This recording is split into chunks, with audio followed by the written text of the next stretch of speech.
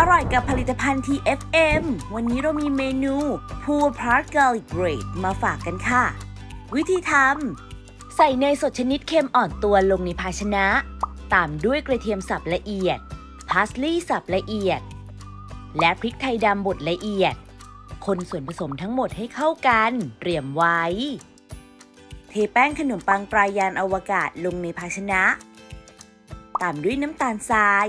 ยีแห้งสำเร็จรูปสำหรับทำขนมปังหวาน และเกลือป่นเสริมไอโอดีน ใช้หัวตีรูปตะขอตีจนส่วนผสมเข้ากันดี เติมไข่ไก่ น้ำเย็นและเนยสดชนิดเค็ม นวดต่อจนส่วนผสมเนียน แบ่งส่วนผสมที่ได้ออกเป็น 3 ส่วน ส่วนที่ 1 หนัก 500 กรัมเป็นสีขาว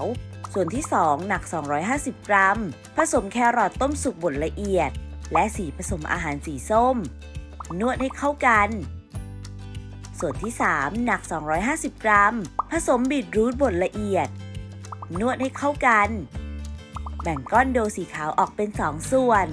รีดก้อนโดแต่ละสีออกเป็นแผ่นเท่าๆกันทาเนยกระเทียมบนแป้งแครอทวางทับด้วยแป้งสีขาว ทาเนยกระเทียมทับ วางทับด้วยแป้งบีทรูท ทาเนยกระเทียมทับ วางแป้งสีขาว จากนั้นทาเนยกระเทียมให้ทั่วชิ้น และตัดเป็นชิ้นสี่เหลี่ยมขนาดเท่าๆกัน วางลงในพิมพ์ที่เตรียมไว้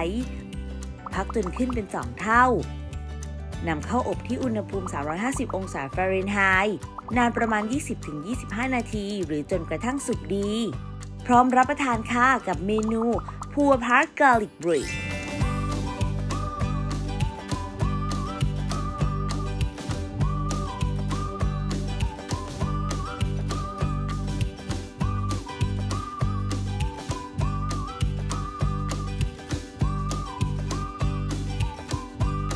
ถ้ามีผลิตภัณฑ์ TFM ติดครัวก็อร่อยกันได้แล้วค่ะ